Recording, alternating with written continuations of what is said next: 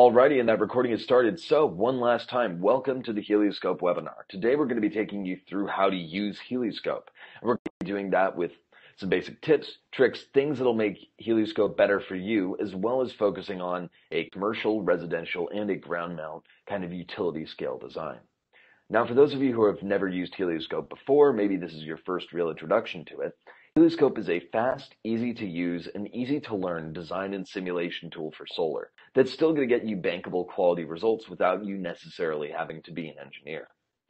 In terms of it being fast and easy to learn, we actually have some of our largest customers telling us that they could take somebody off the street who has no prior experience in 3D design, in solar design, really anything that would apply to that sort of job, they could take that person with no experience and have them trained up and contributing to their team in just about 48 hours. So it's very easy to get people trained up, contributing, and still contributing at a high level to your team. Helioscope's also pretty affordable as well at just $95 a month or $950 a year.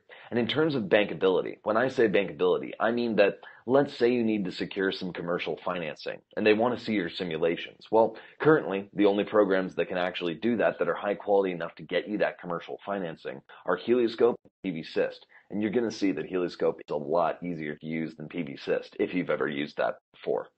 But you didn't come here to, uh, to hear me harp on about all of this. You actually came here to see how Helioscope works. So let's get started with that commercial design. So to do that, you can see I'm on the home page of Helioscope here. I'm going to click this new project button up here in the top right corner. That's going to open up the project creation page. There are a few things that I have to put in here to get started. So first I'm going to call this my commercial demo. Easy enough, I can give it whatever name I want. And the next thing that I have to put in is an address. Now, I like to separate out addresses into three sorts of categories. The first is just a general mailing address. That's somewhere that you'd be able to send mail. That's somewhere that if you search it on Google Maps, it'll probably take you to the location, to that home, to that business location.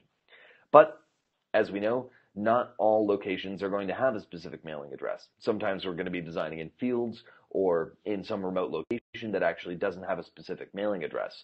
So you can also put in locations with a general address things like a town name or a landmark, something that's going to be nearby where you're designing, and then you can actually click relocate this map, and wherever those crosshairs are centered on, that's where you're going to be designing. Finally, you can also put in your address in latitude, longitude coordinates. So I do have those pre-copied in here just so you don't have to see me painstakingly type them out, but this is going to take us to a commercial building in Kansas City. So now I've got my name and my address, and the next thing that I have to select is my project profile. And technically, I don't have to have one selected. When I'm first using Helioscope, I might actually just have no profile specified. But you are going to have access to our default commercial, ground mount, and residential profiles. What each of these project profiles does is it presets some of the qualities for your design. Things like the components that you're using, or if you're going to be having additional soiling losses, or maybe you have something very particular that you want to model every single time you do a design. Well, instead of you having to set that every single time that you do do your design, you can actually just select a profile. Here, in this case, I'm doing a commercial site, so I've selected default commercial. You can have all those things preset. So it makes it much quicker to actually do your designs. So now that I've got my name, my address, and my profile, I can click Create New Project here, and that's going to take me into the project page. Now that we're here, I want to call your attention to a few tabs in particular. The first being the Designs tab, which we're currently on. This is where we can create new designs, where we can create clones and copies, and also if we need to get things like CAD exports or single line diagram exports, we get that from this page as well. Next is our Conditions tab. And in our Conditions tab, we create what we call condition sets in Helioscope.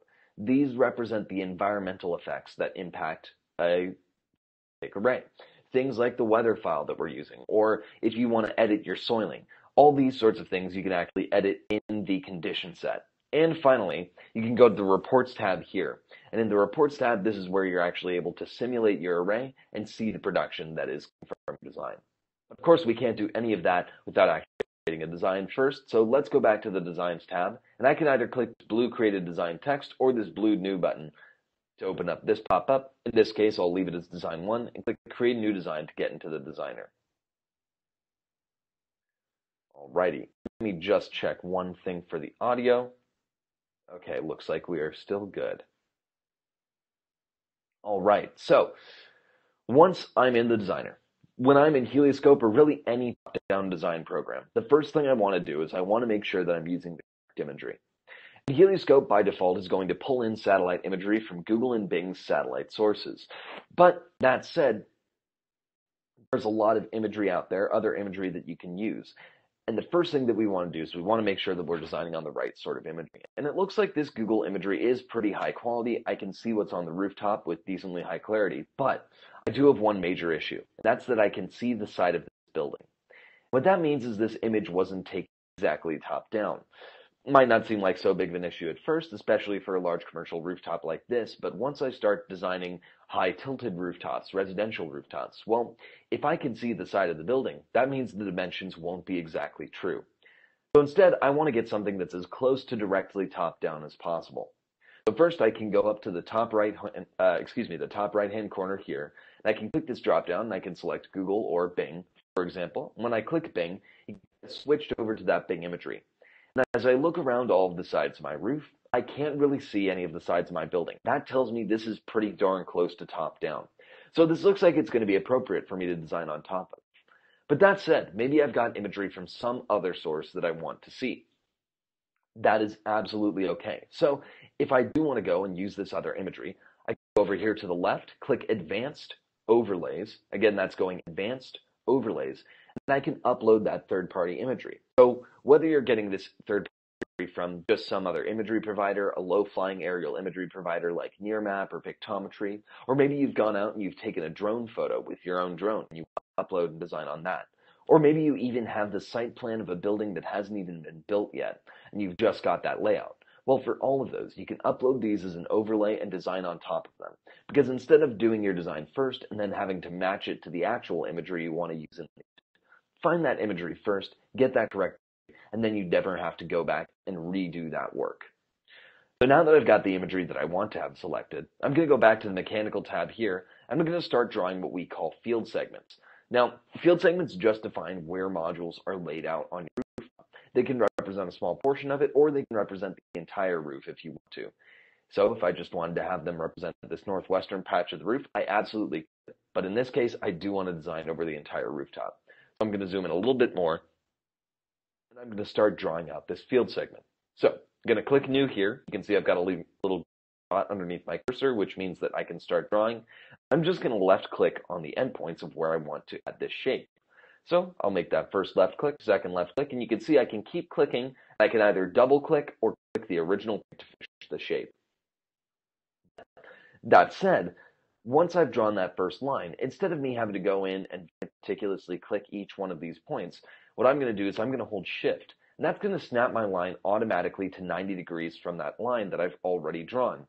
So instead of me worrying about if these uh, if these lines are being placed exactly where they should be, if I'm clicking all these points exactly where I need to be, instead I can just go through and I can hold shift and that'll snap all those corners to 90 degrees. That'll make sure that all those lines are actually uh, perpendicular to one another so I know that I've drawn out this rectangular rooftop and don't have to worry too much about anything else. So if you do have rectangular roofs like this, I highly recommend once you draw that first line, using shift and holding that down to make it a lot easier to draw.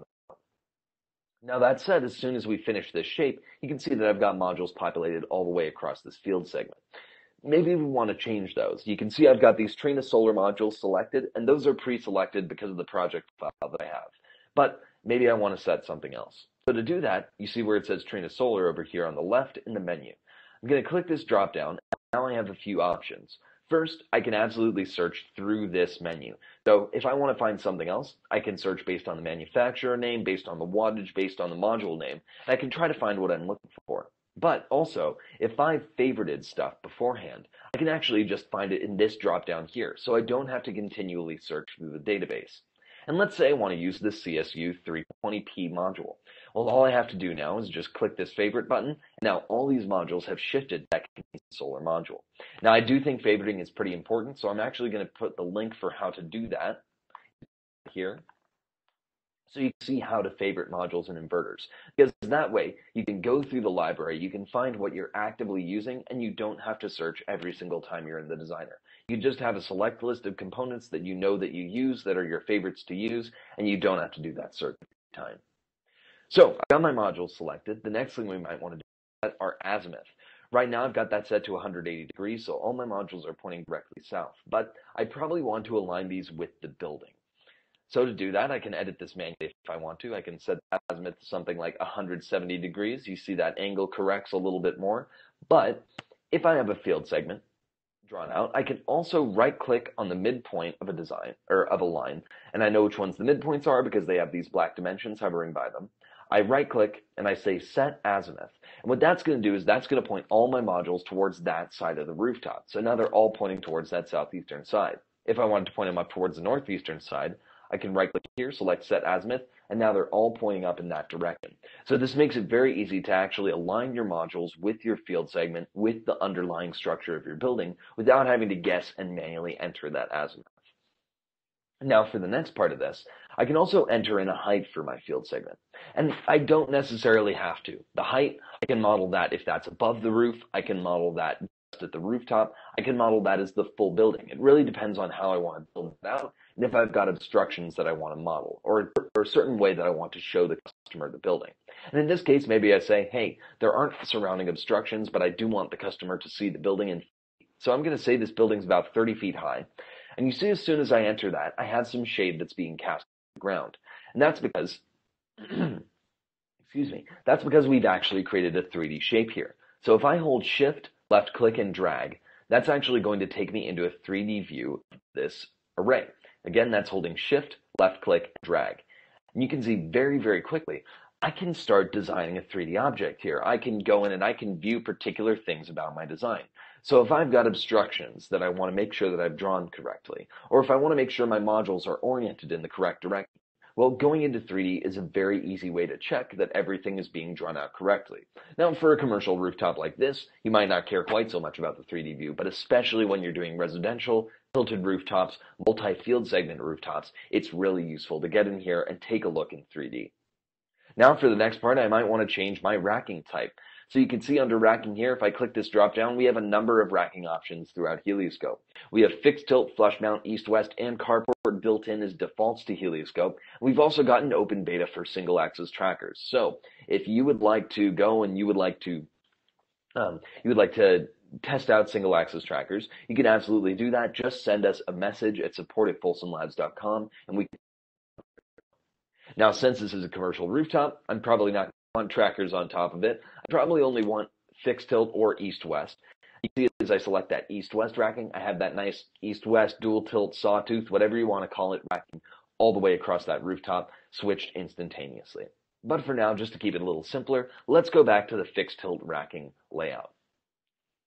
Now I can also control the tilt of my modules. Right now that's set to 10 degrees, but if I set that a little bit higher, you see I've got that 60 degrees. And granted, we're probably not going to put our modules at a 60 degree tilt on a rooftop like this, or potentially ever, unless we're up in Alaska or something. But it is just to show you that we are modeling those effects. And let's set that back to a more reasonable 10 degrees for now.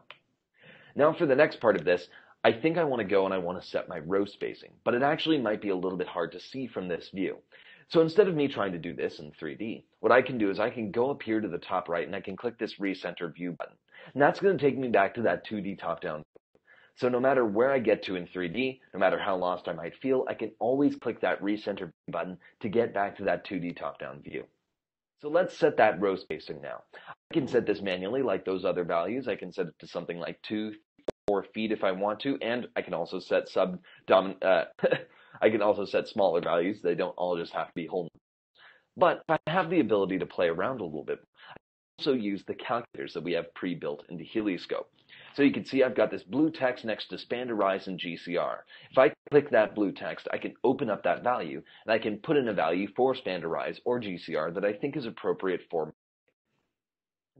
Helioscope's going to take into account the uh, the spacing in between your rows. It's going to take into account the tilt of your modules, the orientation, the location that you are on the globe. It's going to take all of that into account to give you the appropriate row spacing, to give you that span/rise, to give you that GCR value. Now, if you can play around with your row spacing a little bit more, we also have this time of day tool. Now, before I show you, I will uh, just sort of put in a, a word of caution. If you're using ballasted racking, I'd recommend talking to your manufacturer about what that row spacing can be for the ballasted racking product. Because a lot of times they'll have it restricted to say, well, you can have these tilts and you can have this row spacing. So always reasonable to consult your manufacturer before you actually go in and start playing around with ballasted, uh, ballasted row spacing. But that said, if I do have the ability to play around with this, I can click blue time of day text, and that's going to open up this time of analysis. What it says is, by default, this between the hours of 10 a.m. and 2 p.m. I do not want my modules to shade one another. Now, I the date of this, I can click this calendar button and select a different day, and I can also make this time window larger or smaller if I want to. But by default, it's going to be on the winter solstice between the hours of 10 a.m. and 2 p.m. And you see when I run this, I only need about 1.5 feet of row spacing in between my to not have them shade one another during that time window. That is a lot of saved space on the roof. I don't have to do two, three, four. I can get 1.5 feet in between my modules, and now I can fit a lot more into this space.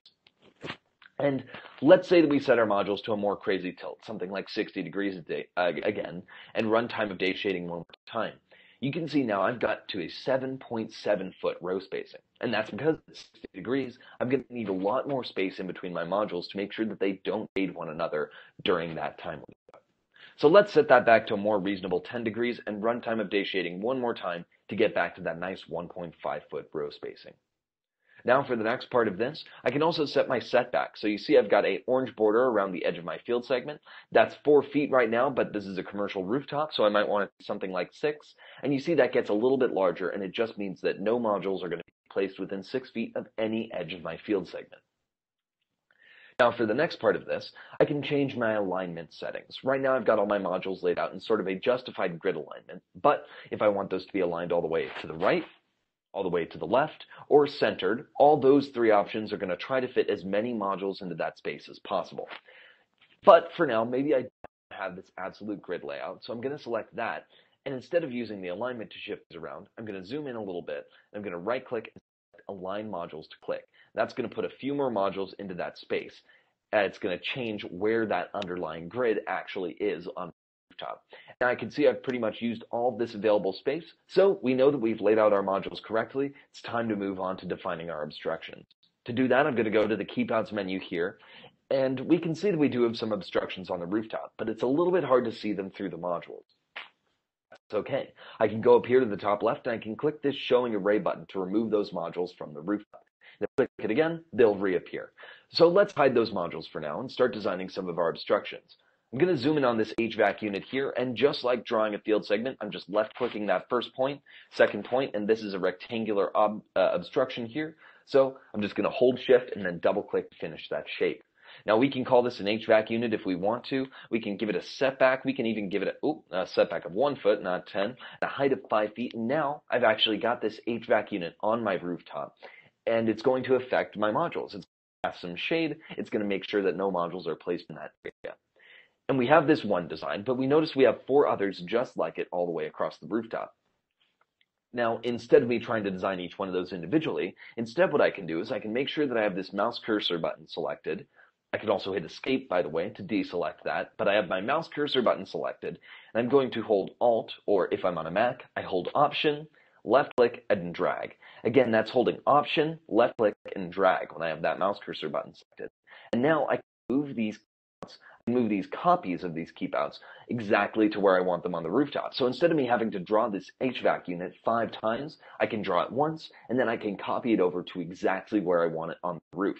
And these all have the same dimensions, the same setback, the same height. It's all going to be the exact same. So it makes it very easy for me to design these similar obstructions in a short amount of time. Now for the next part, we can see that we have a large number of skylights on this rooftop, and given their layout, I probably don't want to put any modules in between them. So instead what I'm going to do is I'm just going to draw an area around these to remove modules. So I'm going to click keep out here, click my point, click my second point, then I'm going to hold shift and come down to have those nice 90 degree angles since this is a nice rectangular shape as well and double click to finish it.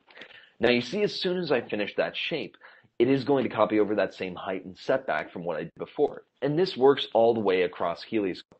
So if you are designing a field segment, if you're designing a keep out, if you're designing a wiring zone, we're going to copy over the previous values from the one that you were designing so that you don't have to re-enter them every single time.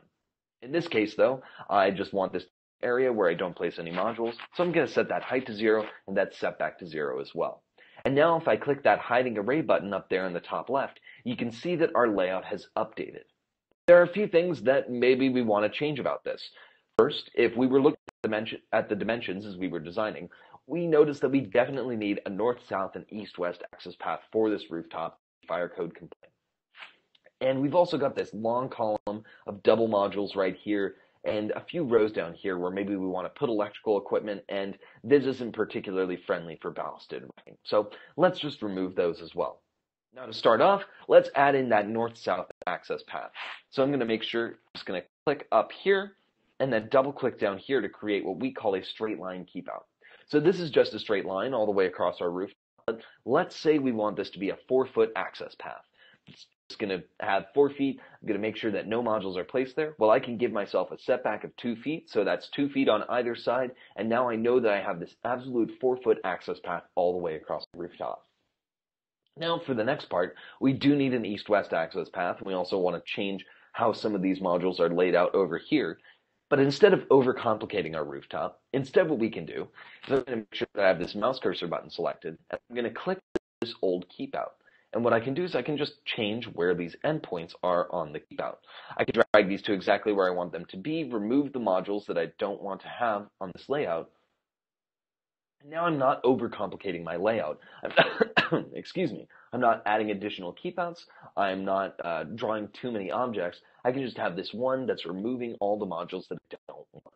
And let's say I make a mistake. Let's say I drag this off the rooftop. I do something with it that I actually don't want to do. Well, that's okay. I can always go up here to the top left and I can click this back button. So we actually have a multi-step undo and redo function in Helioscope. So it makes it very easy for you to go and test things out. Or if you make a mistake, it's easy to recover the work that otherwise we might have lost. We do have that undo and redo.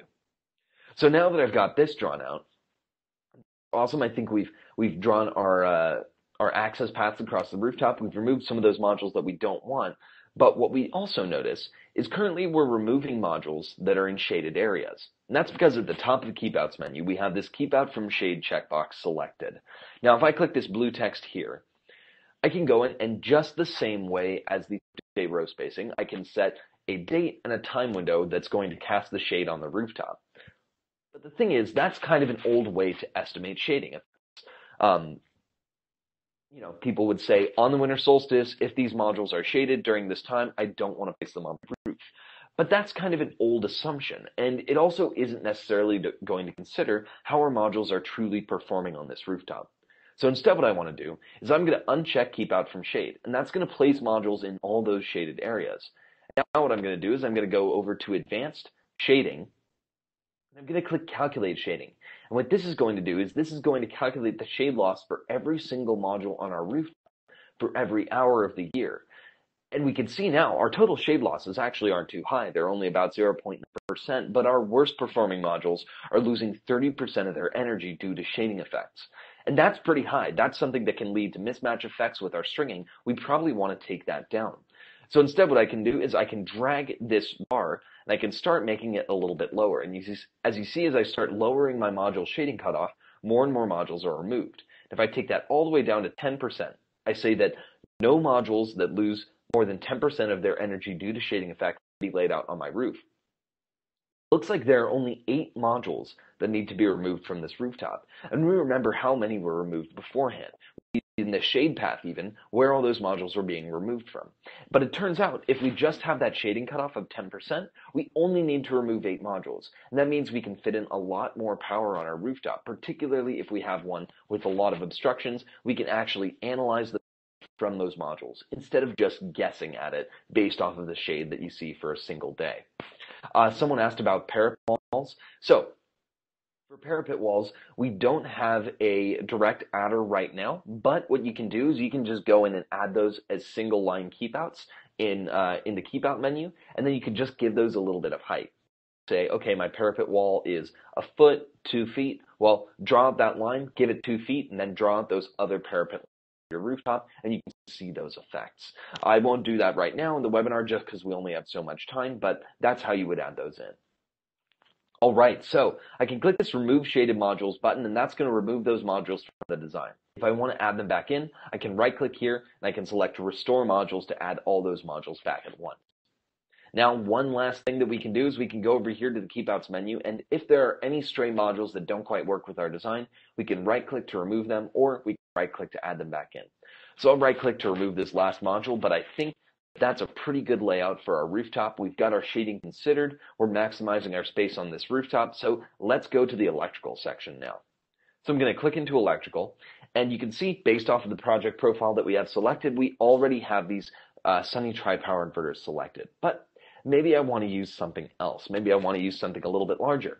And in this case, let's say I want to use a 30 kilowatt inverter. So I'm just going to type in 30K, scroll through here and maybe select something that comes up that I think will be good. So let's try this inverter.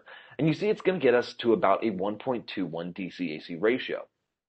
And that's because currently we have a set DC-AC ratio that we're trying to hit. Now, if I click this blue text here under count, I can manually set the number of inverters that are going to be in my uh, array, but I can also set the number of inverters based off of a target DC-AC ratio. So if I click this blue text again, you can see right now that's at 1.25, but if I want to make that DC-AC DC-AC ratio larger or smaller, I absolutely can. So if I want to set that to 1.5, just one, I can absolutely do that. And Helioscope is going to get as close to that ratio as possible without going over it. So I'll leave that at 1.25 for now. We'll still have those 11 inverters. And the next part might be a little bit hard to see from this view, but I'm going to put this SLD button up here in the top right, and that's going to bring us into our automatically generated single line diagram. So as I've been doing all of this designing, selecting my modules, my inverters, well, this single line diagram is being generated as well or has, has been generated. Excuse me. So this updates dynamically. If I change any of those things, well, this will change with it. For example, if I want to add combiners to my design, if I click this blue text here to add those, you can see those appear in my single line diagram. And now I can also see the conductor that I'm using. I can see that here and in the wire schedule, and I can see it in the home runs. And I can see I've got about a 1.9% voltage drop. So maybe I want to make that a little bit bigger, set that from 12 AWG to 8 AWG, bring that down to a 0.7% voltage drop, and you can see it updates in the single line diagram as well. And if I want that removed from the design, well, I can just click X remove here and take that out. This is very easy to go through to edit, and if you want to export this, make some additional edits to it, you can always click this Export DXF button up here in the top right, or you can right-click in the middle of the page and save it as an image. Now going back to the map view for the next part, the next thing we have to do is we have to set our target stringing range. Right now, we've got a suggested range based off of local ASHRAE data. So Helioscope is pulling in local ASHRAE data and based off of the local maxima and minima temperature, as well as some of the conditions for the components that you're using, we're giving you a suggested stringing range. Now, that said, you don't have to stay in this range. If you need to go above it or below it based off of the recommendations from your manufacturer or based off of your own calculations, you absolutely can. This is just a recommendation from these temperatures. But that said, it probably is a good idea to set your string length. So while this is 9 to 11 module range, instead I think I want to set a single string length. So I'm going to click this blue set manually text here, and I'm just going to go through this range and maybe bring it down to 9. And this means that all of the strings on my rooftop now are going to be 9 modules long. Now what's important to note is you can see down here in the bottom right hand corner, I've got about 5 modules that are not being strung. And that's because the total number of modules on my rooftop is not evenly divisible by 9.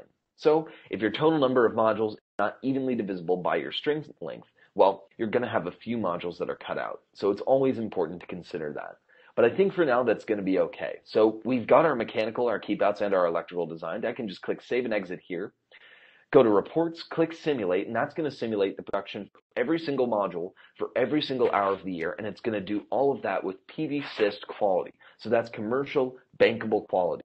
But it's going to do it in a lot less time and with a lot less manual finagling than something like PV-SYST do. So even though this is 400 kilowatts DC, you can see this completes for me in just a few seconds. And now that that's done, let's take a look at the report that it's generated. At the top, we have some of our critical information listed. Things like our module DC nameplate, our annual production, our performance ratio, our total kilowatt hour per kilowatt peak. Now, if I want to print this out, I can click this PDF button at the top of System Metrics, or I can click this printer icon up here in the top right. If I want to update my logo, if I have a different one, or if I haven't even uploaded one I can click this update logo button here and upload that logo. And I want to get an 8760, so if I can get hourly production for my design, I can click the CSV button and download that right here. And we did have a question. I apologize for slightly skipping over that. Someone asked, how would I work with microinverters? Well, we'll actually kind of go over that for the residential portion of the design. Just wanted to let you know that we are going to touch on that later. Scrolling right along, we've got our monthly production chart here. So if I hover over individual months, I can actually see their production, or I can click this blue text here to open up the table, those table form, and I can hide it away just as easily. Now, I used to be a commercial system design engineer. So what I really like is this sources of system loss chart right here. In fact, I think it's probably the most valuable part of the simulation of this report. And that's because it makes it really easy for you to go through and for you to identify what is going on with your design. And you can see right here, I've got 7.4% inverter losses. These power losses due to inverter efficiency, now I maybe can't do too much because that. That's just something that is additional inverter. But maybe I can select a different inverter. And so without me having to go through and do any complex math, to go through tables and try to figure out what's going wrong with me, come here and I can see I've got 7.4% loss due to my inverter efficiency. I might want to select an, a different inverter. And it's that easy to come in and see where your design can be improved upon, where mistakes might have been made so you can catch them and you can deliver that best for your business and that best design uh, and that best design to the customer. Now, if you're used to using something like PVsyst, we've also got this annual production table right here that has those losses, losses listed out in order, and you can hover over these values too to get a little bit more information. For instance, for constrained DC output, I can see if I've got overvoltage, undervoltage, overpower, or underpower situations for my array. I've also got my condition set right here, so all of my assumptions from my condition set listed out. I've got a nice sort of little bill of materials here for my components, my inverters, my strings, and my modules all laid out. And if I click this blue text here, I can open up a full electrical characterization for each of my components. And at the very bottom, I've got a nice detailed layout of my array.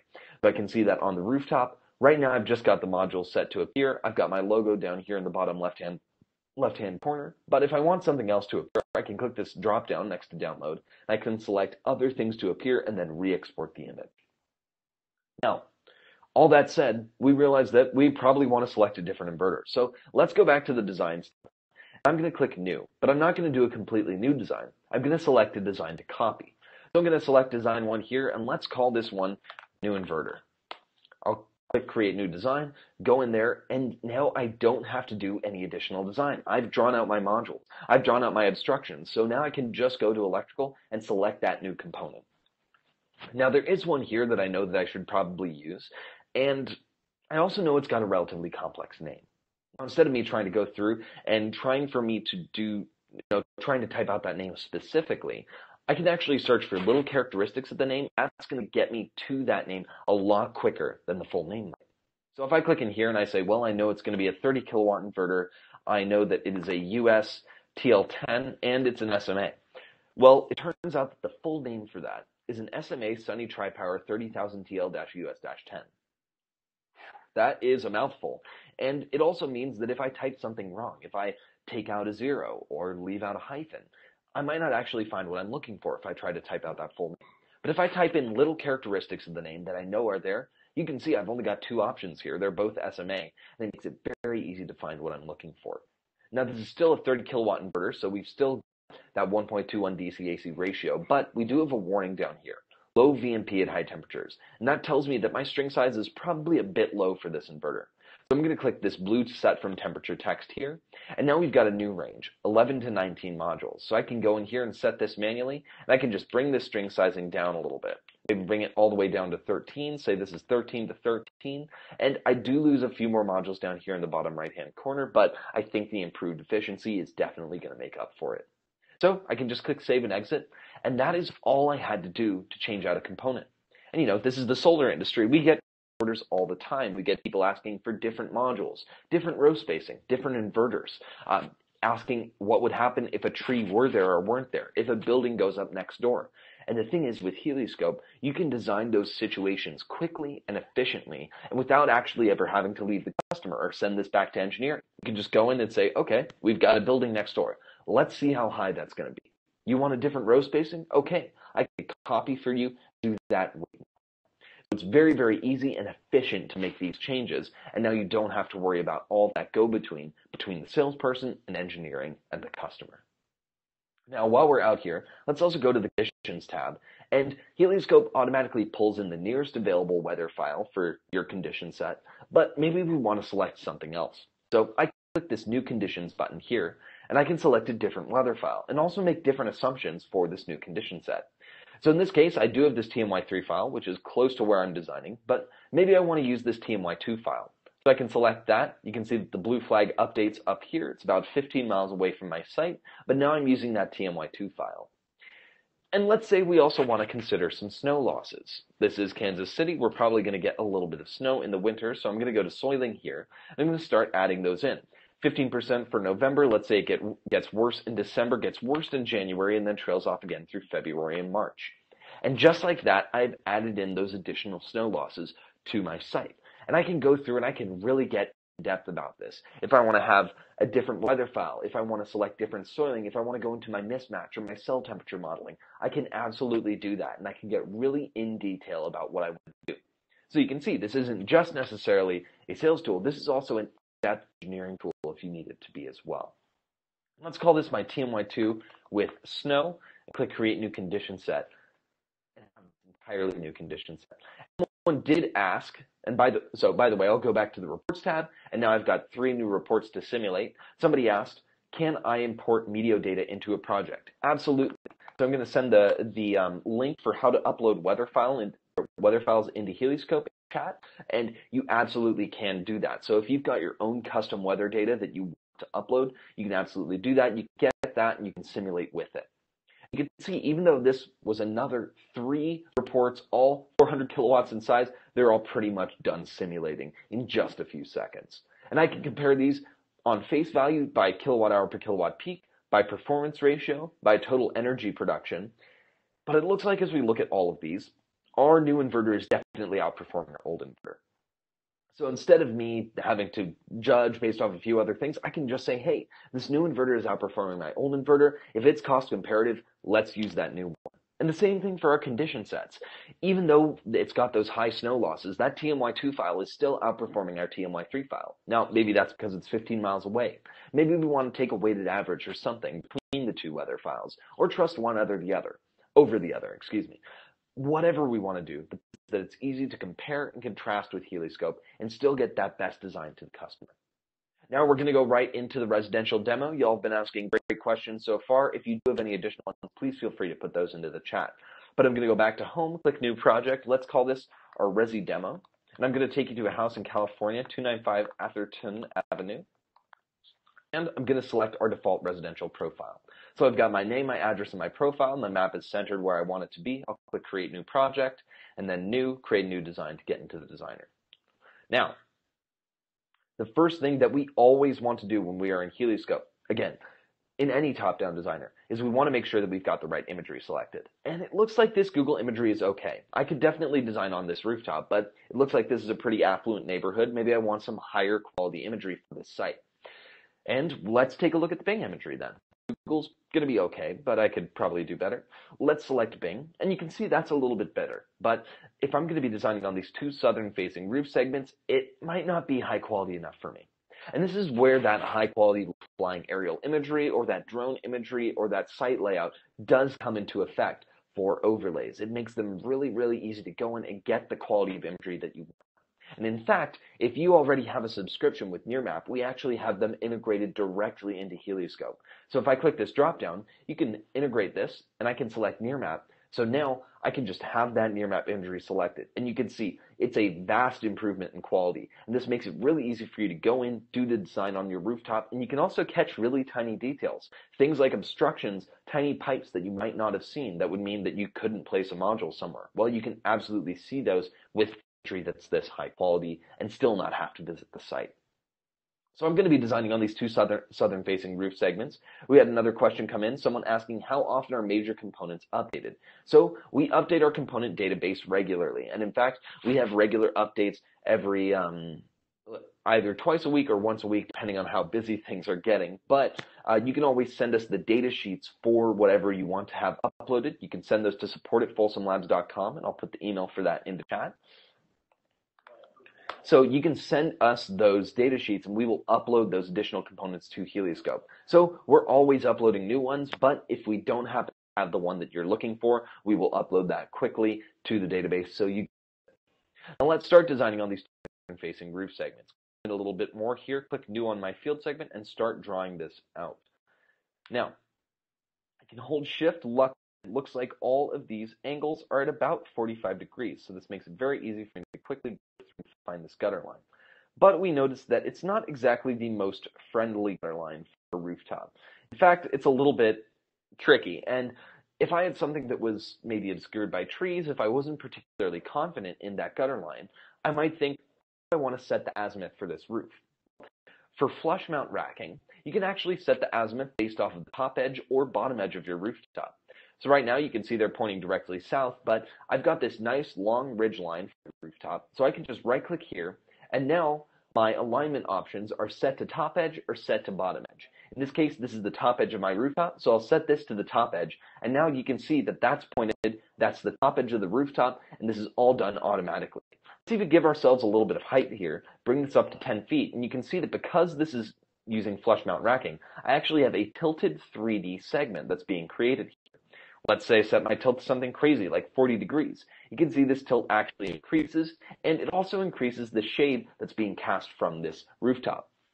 Now, this might not seem too important at first, but especially when we've got large residential buildings, where we've got different um, we've got different heights to our rooftop, we've got different stories, and maybe we're going to be placing modules in some areas where one story would be shading another. Well, we want to consider that. We actually want to know the effects from the shade of these various roof segments and Helioscope's going to let you do that. So let's set that tilt back to a nice 18.4 degrees and I'll recenter the view to get back to that top-down view. Now I think I can fit a few more modules into this space. First thing I'm going to do is I'm going to come down to these automatic layout rules and I'm going to change our default orientation from portrait to landscape. Uh, someone asked preference between portrait and landscape. You can absolutely set that in your profile and you just saw I can switch between those very easily as well.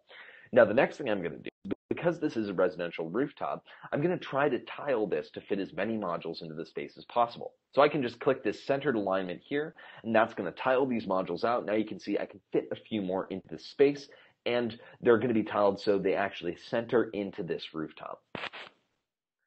Now, that said, maybe I have some cases where I want to lay out modules that are in mixed orientation, or I want to edit exactly where the modules are going to be on my rooftop. I've got some interesting particular places where I need to put these modules manually. Well, to do that, I've got these manual module controls here.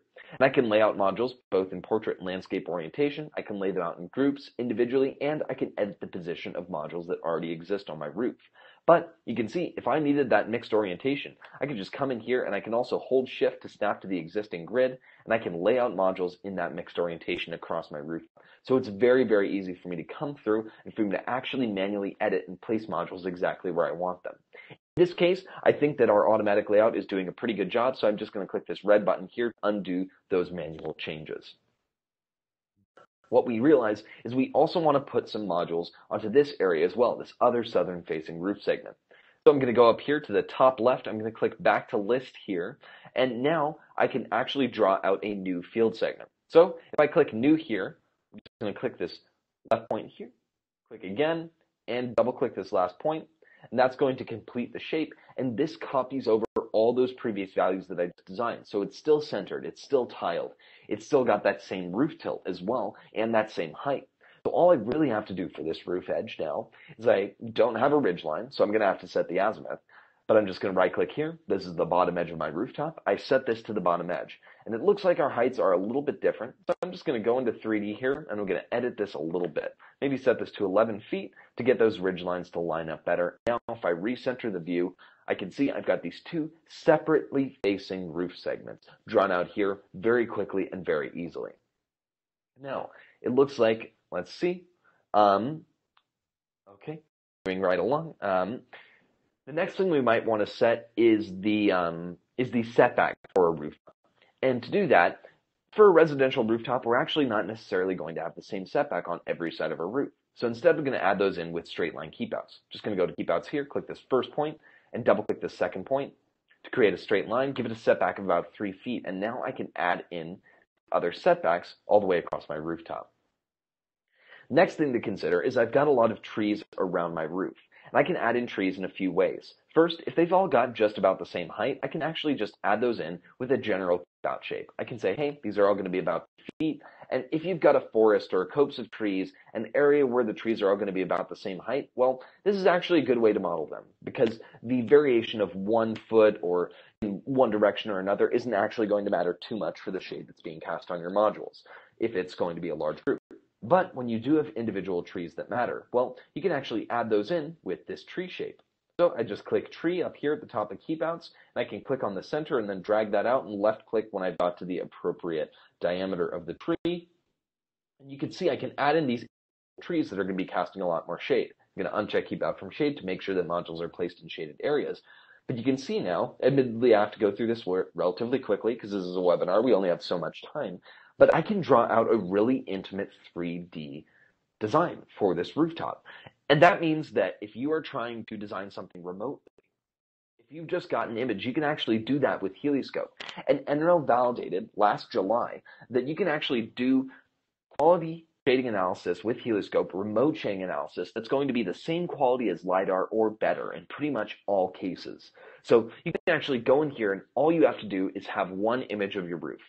When that image was taken, but then you can figure out the exact height of all your obstructions, the tilt of your rooftop, the height of your rooftop, all those things with just a single image. And that means you don't have to do a truck roll. You don't have to get up on top of the roof and do potentially dangerous measurements. You can just do all of this beforehand. You can pre-qualify your site.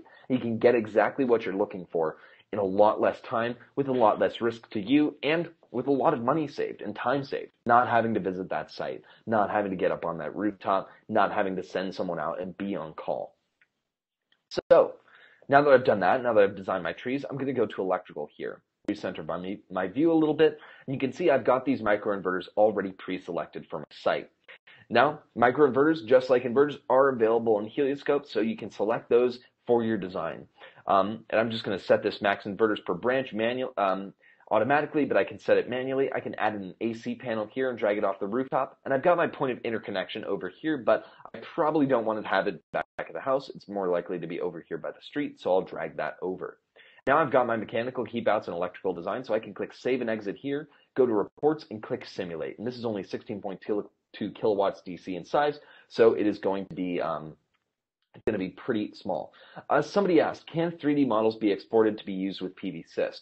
So I don't necessarily know that our models can be exported to be used with PVsyst. We do have a CAD export that's coming out in 3D, but it's not going to be exporting those as surfaces, which I believe is what PVsyst is looking for specifically, is for the surfaces there. But you may be able to edit that if you take that into PVsyst.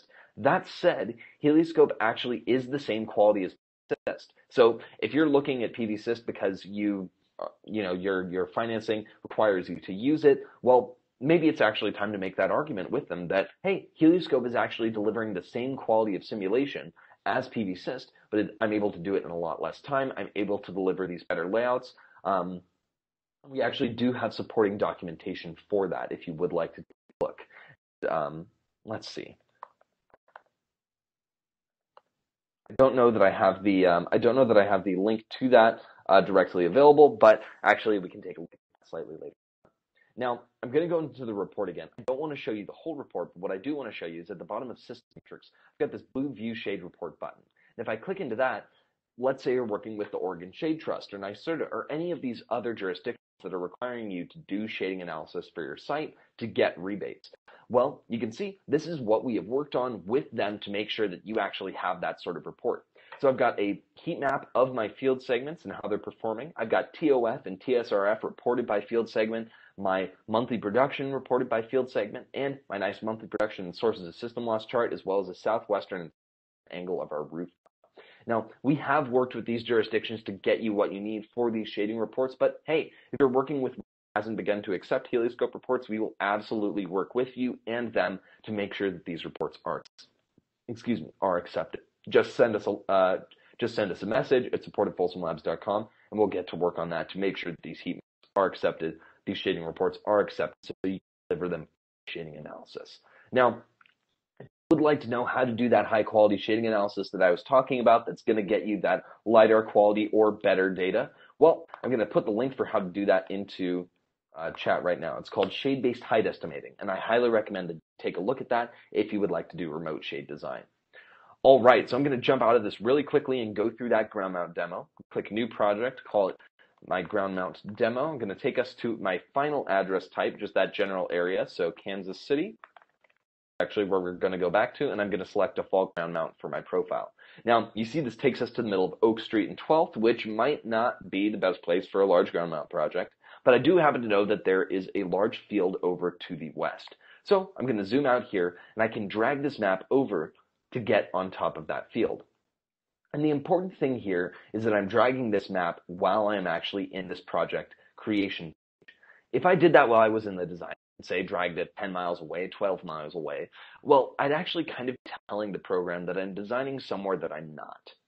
And that's not exactly what we want. We actually want to get a quality design where we actually want to design. So if you want to relocate, do that here in the creation. So now that I've got my name, my address, file, I've relocated my map. I create new project and new, create a new design to get into the designer. We've got high quality image here from Google, so it looks like we don't need to shift that around. I'm just going to start drawing out my field segment here. Click my first point, hold shift right off the bat to get that north, uh, that nice absolute north-south access line, and then double click again, and I've got east-west on the top as well. And you see, this just laid out 4.3 megawatts of modules instantaneously. You can see the Helioscope is fast not just for those small scale residential designs, but all the way up to these multi-megawatt utility scale designs. And the thing that I want to show you most for this ground mount is if I zoom in here a little bit, I'm laying my modules out based off of frame size. Right now that's at four up by one wide. Modules are laid out in one, two, three, four by one module wide be a little bit hard to see from this view. So let's recenter that and set this to, let's say, 3 up by and let's also give ourselves some frame spacing, so some east-west spacing in between our frames, maybe about maybe of about four feet. And now I have these 30 module blocks of modules laid out, as well as even column spacing, as well as even row spacing. I can run that time of day row spacing to get slightly tighter because we know that we've made those a little bit shorter. They're only three modules high now. And you see, this is still 3.5 megawatts in size, but all these changes are happening instantaneously. We are still having a good analysis for how much uh, space we want in between our rows for our ground mount. Helioscope makes it that easy for you to do. So now I've got this laid out. I think for keep outs, we say, hey, this building is going to be demolished. We don't need to model that. We can just go to electrical here. And I've got 118 inverters. I'm at about a 1.24 DC AC ratio. And let's get those just to show that the system can handle it. So I can go in here, set this manually, say that I've got a string size of, let's say, 15 to 15. Really use that 30 module um, array. That means that now I've got two strings per array. So this is really easy for my contractors to go out and string for me. So now I can just click save and exit here. Go to reports and click simulate. And even though this is 3.5 megawatts DC in size, this is going to simulate in a pretty quick amount of time, maybe a minute and a half a little bit larger, sure, going to take a little bit more time, but for those of us who have used other simulation programs, you know that that can take a large amount of time, especially for these utility projects. Helioscope, it is still fast even at this size. It looks like we may have had another question come in. Is there an option to import AutoCAD with land boundaries into Helioscope? So not specifically as a CAD file at the moment, but you can import that as an image as an overlay. So I will put the link for how to import image overlays into chat so you can actually see how to do that. But we do want to add um, we do want to add image or excuse me AutoCAD import with those dimensions with terrain into the system in the. So that's absolutely something we will be adding. Um, someone else asked, can bifacial modules be simulated? So right now, you absolutely can, and we do have bifacial modules in Helioscope, but that modification to the power is going to be manual. So if you are, you know, if you are using facial modules, what you're going to do is you're going to go into the soiling losses and you're actually going to enter that loss as a negative loss. Put the the link for how to do that into the chat here. Um, but we don't have the official bifacial math yet. Honestly, there isn't really official math for how bifacials um, do gain energy in the industry at the moment. Um, so that is something that we are going to be working on adding to the program. We just need a little bit more, um, you know, more information from labs, from respectable sources, from the uh, from the financial institutions as well, as what they accept for the power gain for bifacial modules to do that full modeling. Somebody else asked, can you import PDF? Uh, uh, not at the moment. Our overlays are JPEG, PNG, and KMZ or KML at the moment, but we will add PDF import in the future. Now, there are a few other things that I want to show you. I realize that we're going slightly over time, so I'm going to go into a little bit of overdrive mode just to try to show you all of them. First, down here in the bottom hand corner, if you have questions using Helioscope, you can click this questions button here, and if I say, hey, oh, there we go. Hey, I need help this is a live chat, not just a webinar test. This is not just something that is going to be a joke. You can see, by the way, um, in case you thought I was Evan this whole time, nope, turns out I'm Canute. Um, but Evan is already chatting with me. This is not a thing that we do just for a webinar. This is actually how fast our support is because we don't want you to have to wade through bots or set up a phone call that you have in a few days to solve a problem that you're having right now. We want you to get that we want you to get that support right then, right when you need it.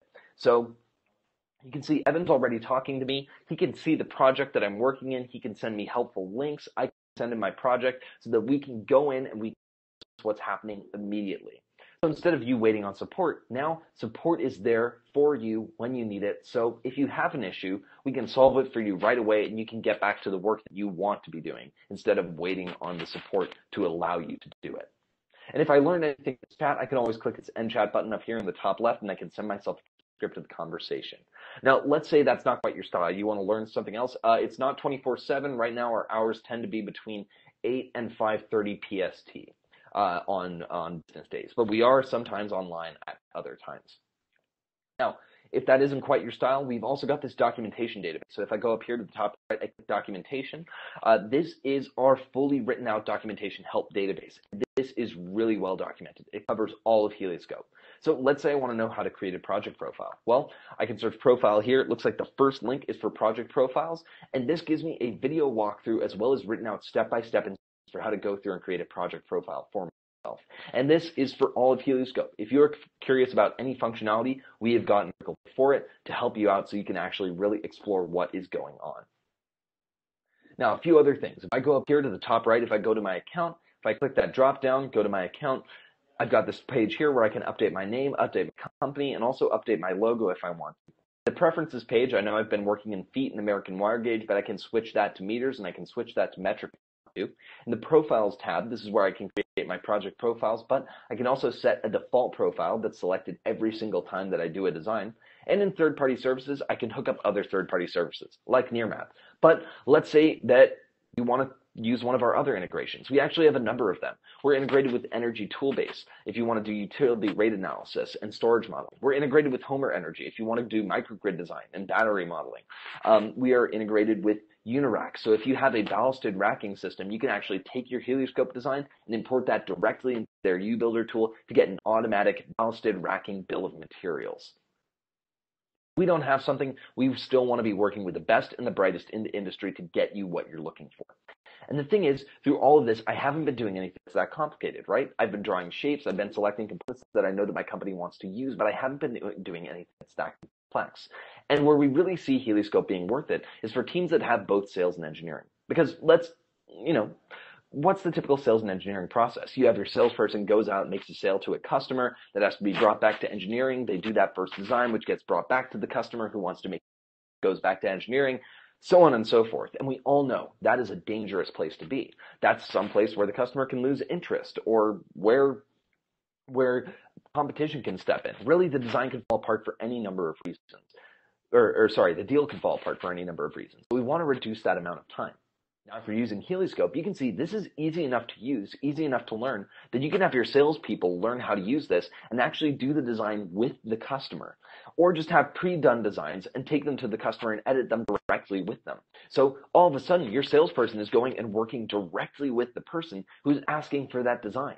And so sales is really happy because they can have pre-qualified designs. They can have really high quality leads. So of course, what salesperson doesn't want that? And your engineering team is happier as well because now they have higher quality leads coming to them. They have to do less engineering and it takes them way less time to actually go through and make changes if there are any that come up. Maybe they can just go straight to permitting if your sales team is good enough. Customer is happier too.